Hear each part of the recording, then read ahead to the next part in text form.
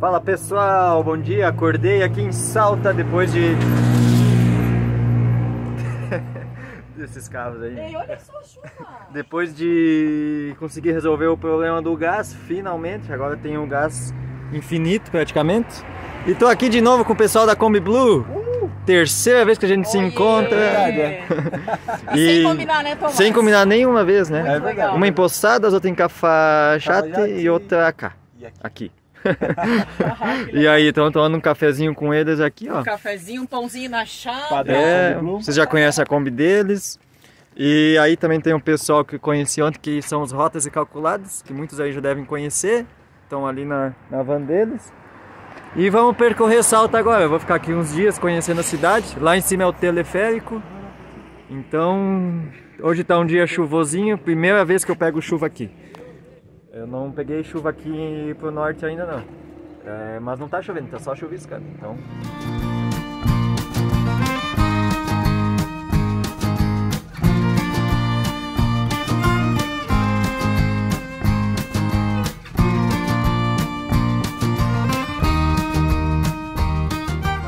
aqui no centro. Tem uns prédios antigos aqui. Lá naquela montanha o telégrafo. Eu vou tentar dormir lá uma noite. Tem muitos prédios antigos aqui. Vamos dar uma caminhada. Bastante pombos. Muito comum aqui também, como no Brasil. Hoje é domingo de manhã, então a cidade está calma ainda. Vamos dar uma caminhada no meio da praça. Aqui, gente, é a catedral. Então, bem bonita, de rosa. Olha só. Vou, não sei se está tendo missa, mas eu vou entrar ali para ver.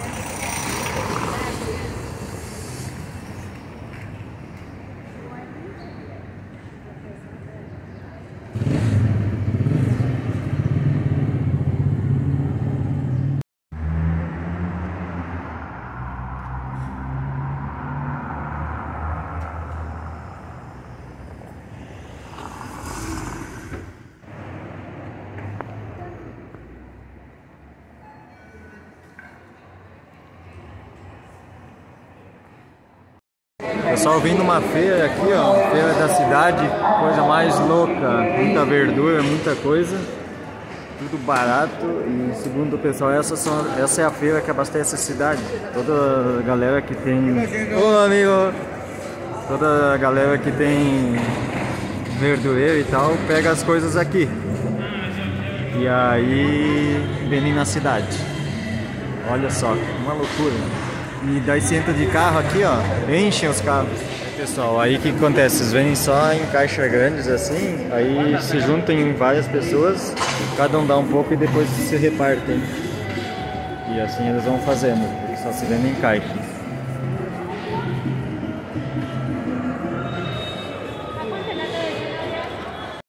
Pessoal, aqui por exemplo tem banana, são 3 mil pesos uma caixa, aí estão juntando um monte de gente, cada um dá 100, 200, aí eles compram uma e se repartem. Eu peguei para 100 pesos, vamos ver quanto vai dar aqui, ó. E assim vão comprando por tudo. Ó, gente, aí tem muita coisa para todo lado, ó, cebola e tudo. Aí vai, a gente vai procurando, ó, que é muito mais barato que nas fruteiras. Ó.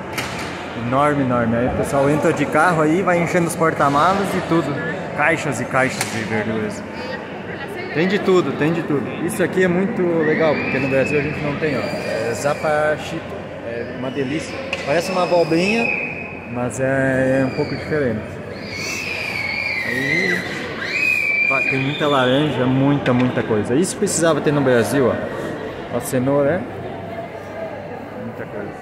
Aqui a gente consegue ter uma vista um pouquinho mais ampla, ó. Lá dá pra ver aquela igreja. Ali tá a Kombi, ali tá a van do Rotas Recalculadas lá tem duas vans argentinas. Esse é o monumento Güemes. Ó, é um muito, muito famoso aqui. Lá em cima é o teleférico. Eu vou subir lá de repente com a Kombi. E aí aqui é uma praça bem grande, ó. Aqui ontem à noite estava cheio, cheio de gente. Aí a gente passa o, a noite aqui, que é um ponto do Overlander, mas é bem movimentado. Até uma meia-noite assim tinha bastante movimento de gente aqui. Depois fica mais tranquilo, mas os autos passam bem rápido aqui e dá bastante barulho, é bem turístico, né? E aqui, ó, é uma praça deliciosa. Para ficar aqui durante o dia é uma delícia. Bem limpo, então é bem organizado. Ah, nem dá para subir ali que tem grade fechada. Mas é bem, bem bonito mesmo. Tem luzes à noite. Aí tem tem várias plaquinhas, tem várias lixeiras. A parte ruim é que não tem banheiro pra, pra ficar, né? Ó, tem até indicações do que é permitido e do que não é, ó.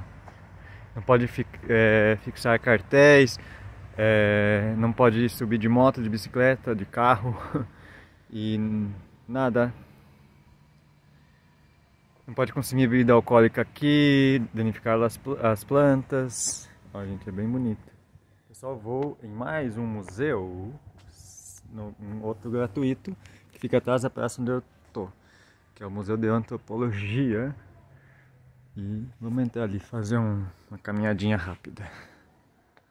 Pessoal, esse museu é muito interessante, porque ele é autoguiado, ó, tem flechas no chão, então vai contando a ordem cronológica de como foi feita a habitação em toda a América, principalmente na América do Sul, e como trabalhavam os índios, os indígenas, os nativos, que eles eram coletores, coletores e depois foram caçadores e foram evoluindo para cultivadores, né? Aí também tem números aqui, ó. Esses números explicam aqui o que é cada coisa, que ferramenta que é e essa marca também fala ali que é, é estações do ano, o que, que eles usavam em, cada estações do ano não, da de época, né?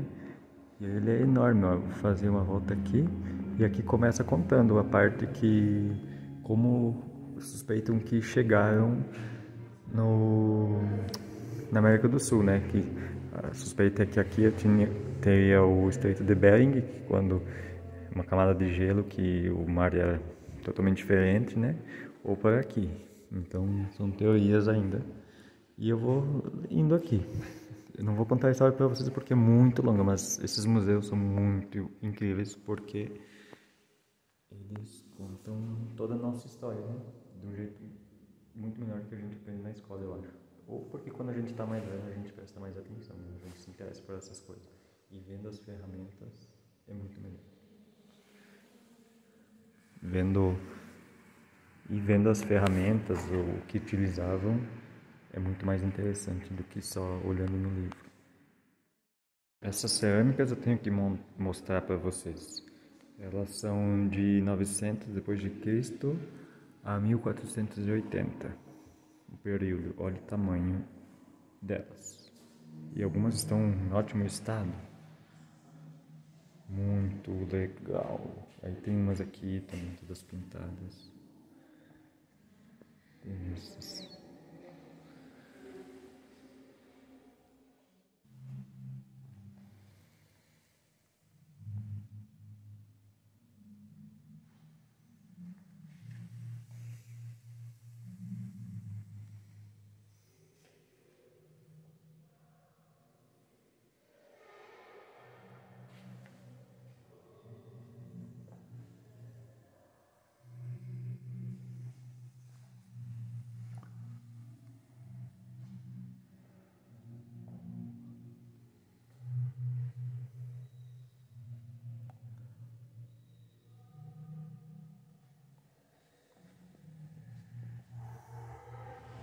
Subi aqui no teleférico de Kombi, galera.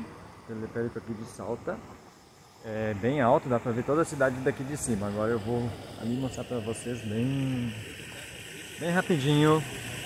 Eu queria passar a noite aqui, mas o estacionamento está cheio, porque hoje é domingo, acho que tem muito turista. Então, não consegui um estacionamento. De repente volto amanhã, depois. Parece que é lindo ficar aqui à noite. Olha só. Aqui é toda a cidade de Salta. Daqui de cima. É enorme, enorme. Tem um milhão de habitantes. Nem parece, estando ali embaixo, parece que é, que é pequena. Sério. Olha o teleférico subindo, ele vem lá de baixo.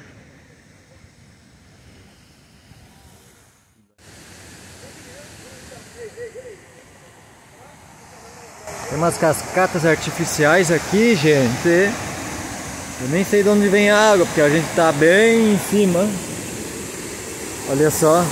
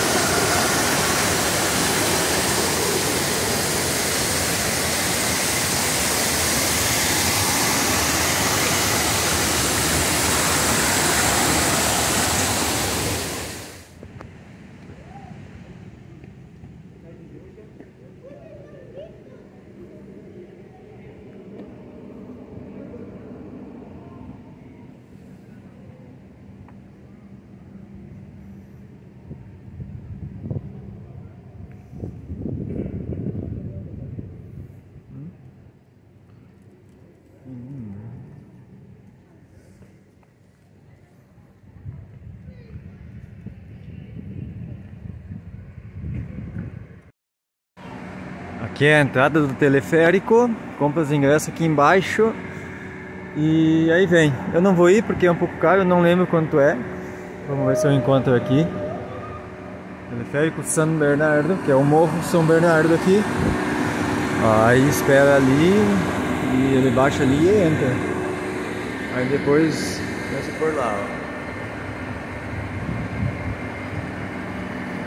É bem, bem complexo. Vou descer ali e voltar. Quero descobrir de onde vem aquela água. Ô pessoal, ainda estou em Salta aqui e vim visitar meus amigos Martini e Rafaela. Olá. Que. Não, oi. Que conheci eles lá em Cafachate, né? Nós conhecemos Sim. em Cafachate, eles também têm um motorhome que eles estão montando. E aí me convidaram a, a passar aqui na casa deles em Salta e vim aqui conhecer a casa deles e conversar um pouco. Aí fizeram uma pizza aqui pra mim, aí tive que comer, né? Fui obrigado a comer uma pizza. Aí aproveitei, tomei um banho, lavei as roupas de cama. e agora já vou seguir viagem. Então, esses são os amigos que a gente conhece na estrada. Agradecer bastante e vamos até a próxima. Tchau! Tchau, tchau. Tchau.